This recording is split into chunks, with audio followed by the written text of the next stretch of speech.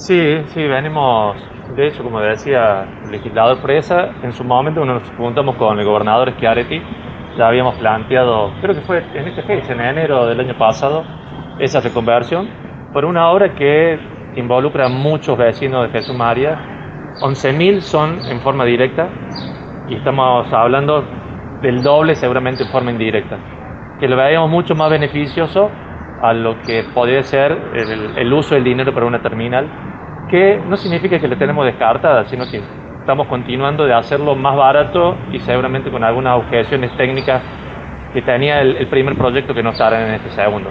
Pero para hoy día, la verdad que para el comienzo de este año es una noticia muy agradable, muy feliz para muchos de los vecinos que hace más de 40, 45 años que estaban esperando pavimentar por lo menos el ingreso de su barrio. ¿De cuánto va a ser la inversión, intendente, y por qué se ha decidido hacer en lugar del asfalto común, el negro, hacer otro tipo de pavimento? Bueno, primero eh, lo puede responder técnicamente acá el ingeniero, pero nosotros tenemos una particularidad en Jesús María, que la consolidación de la, del, camino de la tierra eh, no necesita hacer un trabajo previo para lo que es la pavimentación. Eso, la pavimentación en hormigón. Eso hace que disminuya muchísimo los costos.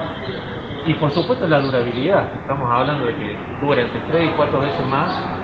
hablamos, de decir, en la conferencia, el presidente Vialidad 25 años tiene por lo menos la amortización de un pavimento hormigón.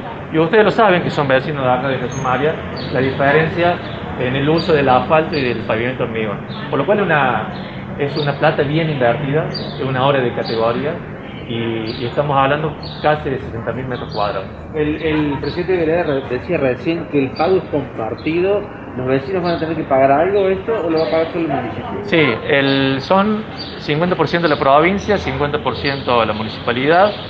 Ahí me puede corregir Martín, pero son 15 años el crédito, de los cuales hay 66 meses de gracia, o sea, prácticamente 5 años de gracia, y a partir de ahí se comienza a pagar. La idea es que lo paguen todos los vecinos de Jesús María, por supuesto. Eh, ¿Cuáles son los barrios? ¿Cuál es el plazo de la obra? ¿Cuándo se comenzaría? ¿Cuándo bueno, los barrios son eh, Florida Norte, eh, Santa Elena, Promovi 2, eh, el nuevo loteo. Después nos vamos hacia, hacia el sur, tenemos Latinoamérica, Santa Gema y Sierra y Parque, son prácticamente siete barrios.